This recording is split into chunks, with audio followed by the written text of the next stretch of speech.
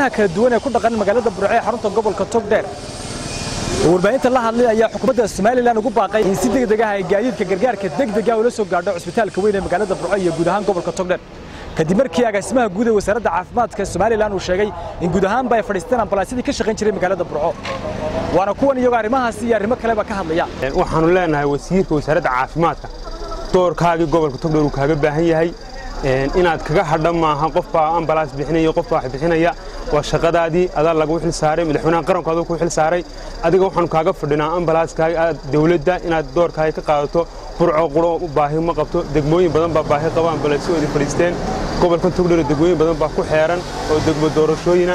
Markaa waxaanu leenahay wasiirka wasaaradda caafimaadka ambalaas iyo wax badan baa lagaaga baahan yahay. Adiga kaagiina waanu sugaynaa.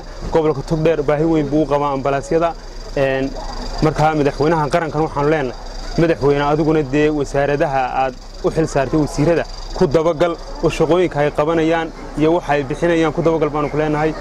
Anigoo ah saleemaan cumar ciise waxaana furinta ku socota madaxweynaha jamhuuriyadda somalilan mudan madaxweyne cusbitaalkii degmada burco gobolka togdheer xaaladdiisa waad ka waraysaa habeenii maalin midha oo daawanaysaa waa ambalaas male.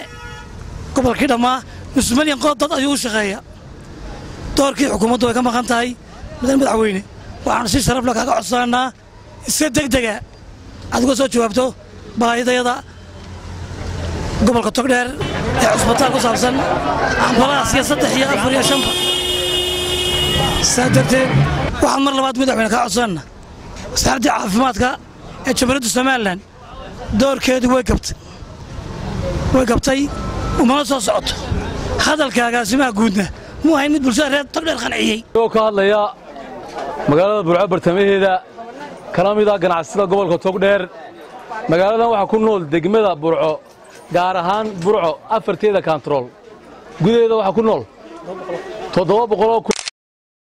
hal milyanoo qof bay gaadhaysaa cisbitaalka guud ee burco gaadiidkii uu lahaa ambalaasyada ahaa way fadhiisteen.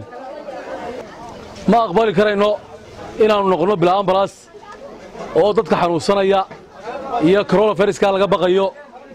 Ma adkaysan karayno?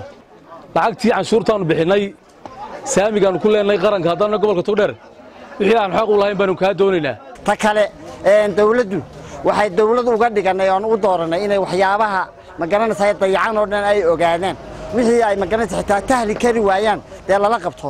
Haddeerto dhakhtarkan burco waxaannu codsanaynaa dawladduna qaybteeda inay ka qaadato.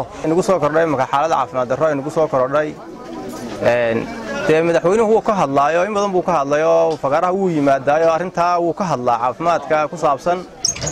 Waxaa loo baahan yahay inuu arrintaa dee ku darsado qorshaha.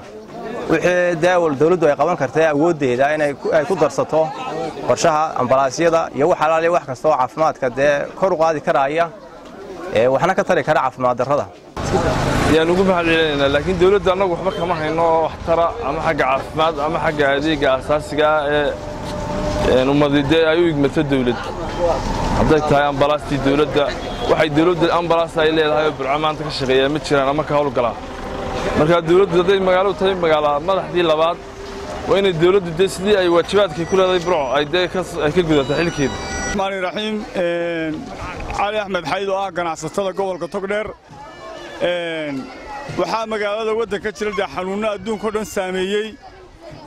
Dadka gobolka togdheer waxay ka mid yihiin adduunka uu saameeyey xanuunka koronafayras gobol ahaan markaannu eegno dadkii hawshaa qaabilsanaa way shaqaynayaan.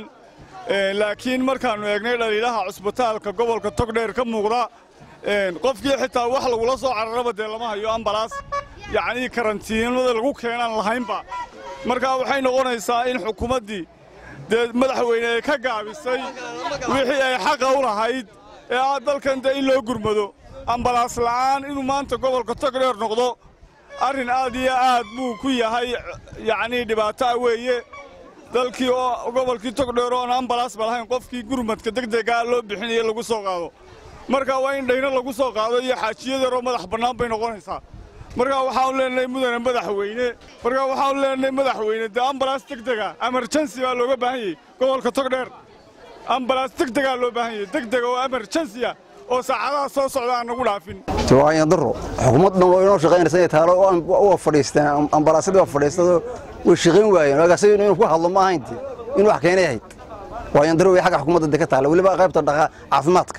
Ama wasiirka ahaato ama agaasime guud ahaato aqab bulshada reer burco ay u direen xukuumadda somalilan ayaa ku beegmaya xilli guud ahaan caalamka uu saameyn weyn ku yeeshay xanuunka coronavirus kaasi oo cabsi laga qabo inuu ku baaho guud ahaan afrika.